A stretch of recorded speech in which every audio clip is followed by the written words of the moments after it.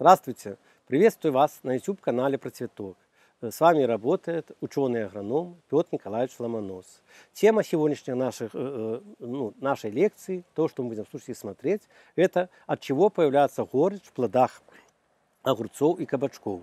Какие факторы влияют на появление горечи в плодах вот. Какими путями можно устранить эту горечь? И последнее, какими агротехнические приемы помогут нам избавиться от этого явления? Давайте будем разбираться совсем по порядку. В своей практике вам, конечно, приходилось это самое. Берешь вот тоже кабачок, берешь, начинаешь тушить, берешь тоже огурец, салатик резать, и в нем явно-явно чувствуется, чувствуется горечь плод становится горечь. Это горечь, это самое э, вещество называется курбитоцин. Э, вот это вещество и приводит э, ну, э, неприятному привкусу в плодах этих бакчевых культур, которыми являются и кабачки, и огурцы. Факторы, как появляется горечь, от чего?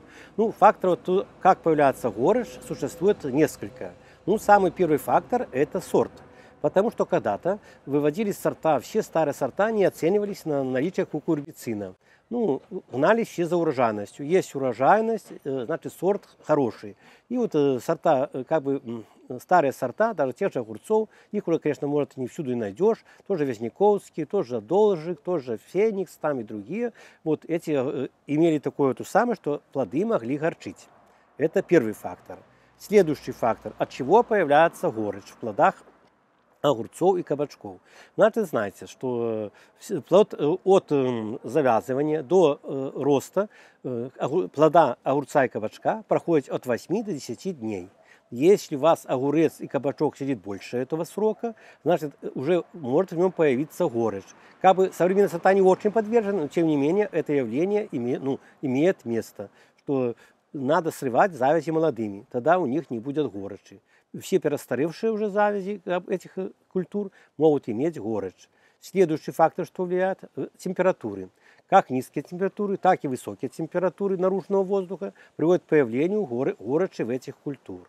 Ну и еще один фактор, очень такой важный, который очень сильно влияет на наличие горечи, это несвоевременные поливы. Нерегулярные поливы, время от времени, вот, и плюс вдобавок в сочетании с температурами приводит к появлению этой горечи в плодах огурца и кабачка.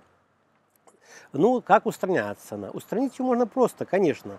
Если эти плоды просто порезать, взять, подержать 2 э, часа в соленой воде, и соль, как бы это самое вещество нейтрализует, плоды пригодны в пищу. Но э, я скажу, что не каждому захочется порезать плоды держать два часа, а перед этим еще попробовать. Поэтому давайте попробуем, что можно ли агротехническими способами устранить это явление. Конечно, можно. Значит, как вам ну, не будет скучно, как вам не будет это самое, может, все. Значит, используем только современные сорта. Сорта выведены как, бы последние годы. Э, потому что эти сорта как бы отслеживаются наличие горы, горечи в плодах. Они ее не имеют. Это раз. Следу, следующий фактор. Э, значит, если мы выращиваем в теплицах, э, обязательно не забываем о вентиляции. В жаркие дни вентиляция понижает, темпер... понижает температуру воздуха, а если ночи становятся холодными и прохладными, мы наоборот будем закрывать двери и форточки, чтобы сохранить тепло в теплице. Вот такой более ровный температурный фон опять не даст накапливаться горечи в плодах э, огурца и кабачка. Вот. Ну и самый главный, конечно, не забываем о регулярных поливах.